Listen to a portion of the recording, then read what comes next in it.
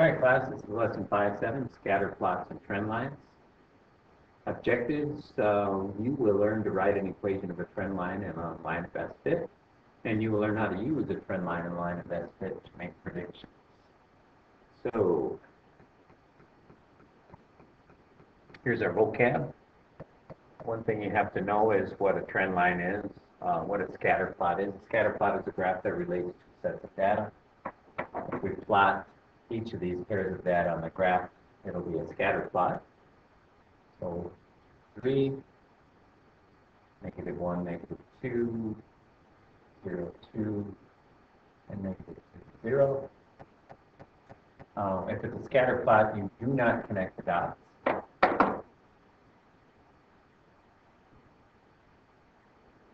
Some words you have to know are uh, correlation. If there's a correlation, you will see a pattern in the dots. Um, the correlation is a measure of the strength of a relationship between two quantities. There's actually a number we're going to learn how to find using a calculator. A positive correlation means that as x increases, y increases, or as the independent variable increases, the dependent variable also increases. Uh, negative correlation is when the dependent variable decreases as the independent variable increases, and nor, no correlation would be there's no pattern at all. So a positive correlation would look like this. A negative correlation would look like this. And no correlation would look like this.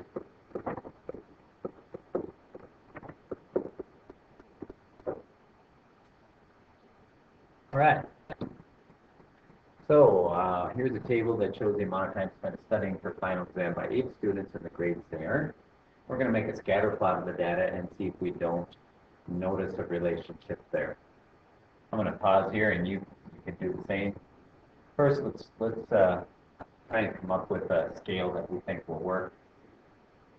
We're going to put the hours spent studying on the x-axis and the grade earned on the y-axis. And so for the hours, we can just go up by one. That should work.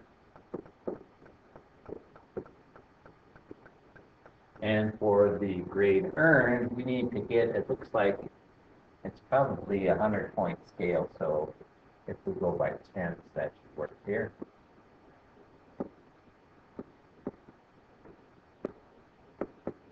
All right, I'll plot the points. You can plot the points. Go ahead and pause. All right, here's what the graph looks like when you plot all the points. And if you look closely, you may see, I'll draw a line to help you notice this, but as the hours increase, the grade tends to go up. So this is a positive relationship or a positive correlation. All right. So go ahead and try it. Uh, pause now. You can plot the graphs. You can answer the questions.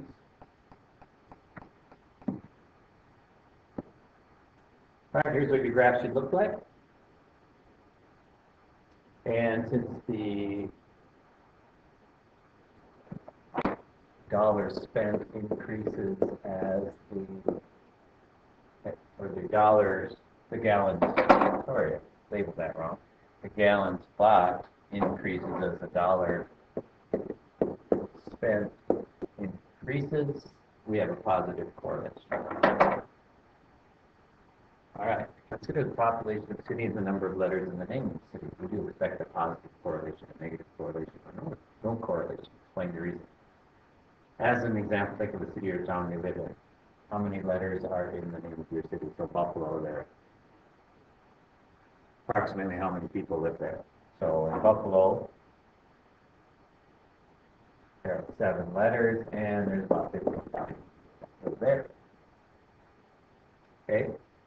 Uh, now think of another city, a very different size from the one you choose for. Exercise 11, how many letters are in the name of this city? How about St. Paul? And I think there's about, two hundred thousand people in there maybe. Okay, is the size of either city dependent on the number of letters? No. What kind of correlation would you expect between the two sets of data? I would expect no correlation. That's the size, the population has nothing to do with the length of the name. All right. Writing an equation for a trend line. A trend line is a line on a scatter plot drawn near the points that shows a correlation. There should be about the same number of points above the line as below it. So um, we're going to call this, some places you'll hear this called the line of best fit. So, and the method we're going to use here is we're just going to eyeball a line. So we need to make this graph. Let's think of a good, appropriate scale. I think a scale of one on the x-axis, which will be our years, will work. So that's good. And then our population, it looks like we're in the thousands. I'm going to uh, skip a little here. So I'm going to do one of these. And I'm going to start at uh, 1,000 right here.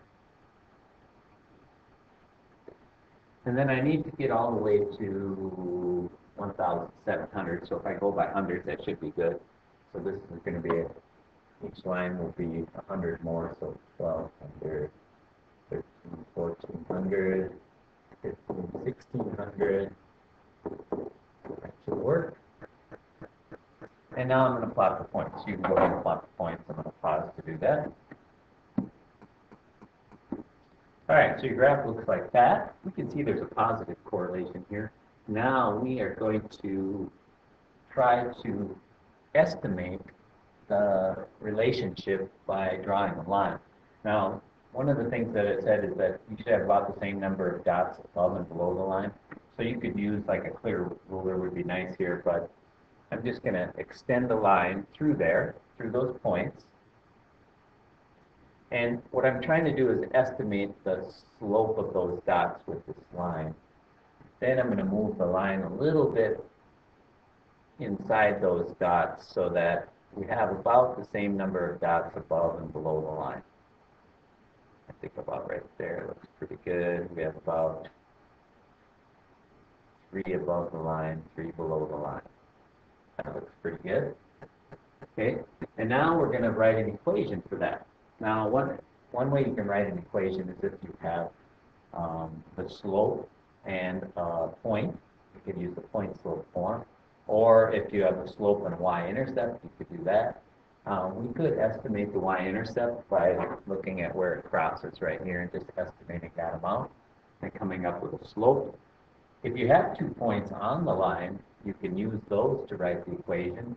And if you look closely here, I'm gonna, I'm gonna say that those two are pretty close to that line. So, so we could probably use those two points. And those two points are from our data seven, year seven, and year four. So using our slope intercept form, or our uh, slope equation, we can take 1740 minus 1490, and we can do 7 minus 4. And 1740 minus 1490 is 50. Divide that by 3. 50 divided by 3 is 83 and a third, I believe. Check my math, it's not quite right, fix it. Um, so that's my slope. About, we can round that to 83.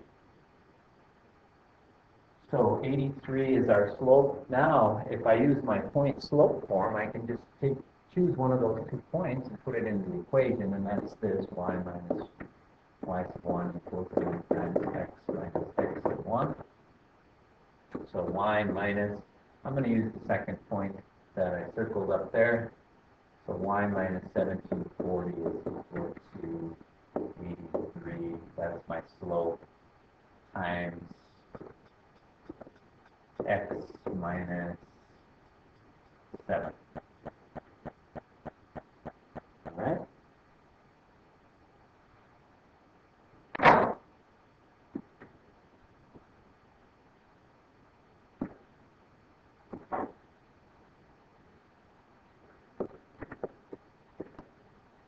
Okay, so there's an equation.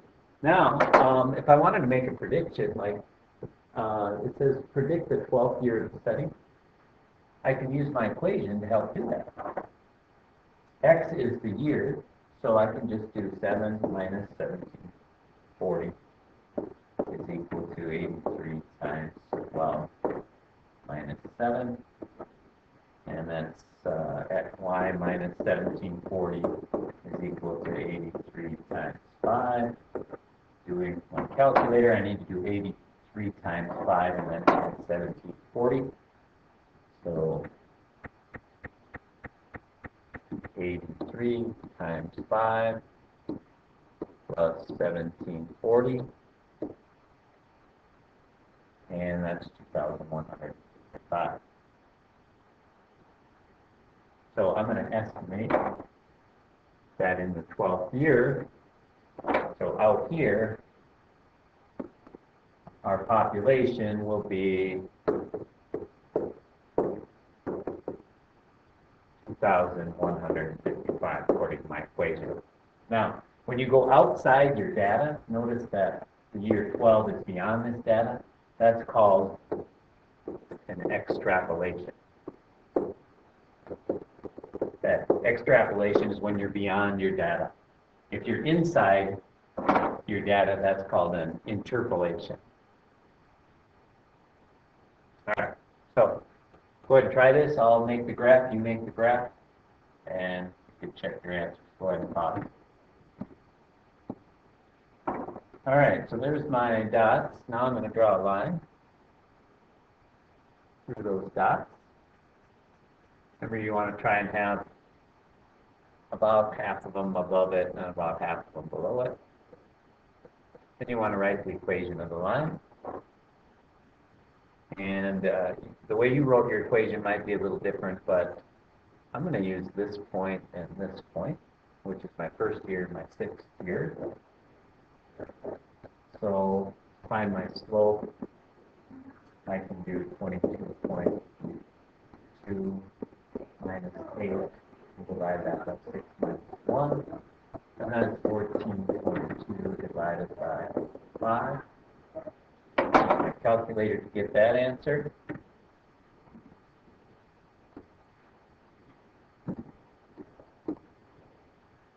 Point eight four. So that's my slope. Now, we'll use one of those points, and the first one should work just fine. I'm going to do x minus 1 is equal to y minus 8. And there's my equation. Now, we want to find the body length of a seven-month-old panda. So seven months will be right here. Substitute that for x. So I'm going to do 2.84 times 6. And then I'm going to add 8 to that, 2.84.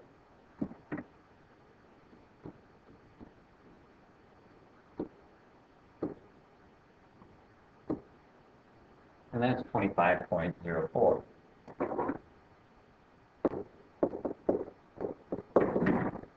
So my equation estimates the body length to be 25.04. And when we do this kind of estimation, that's an interpolation because seven months is inside this data. All right, I'm going to stop the video now, and uh, that'll be the end of the lesson. We'll do the second part of the lesson.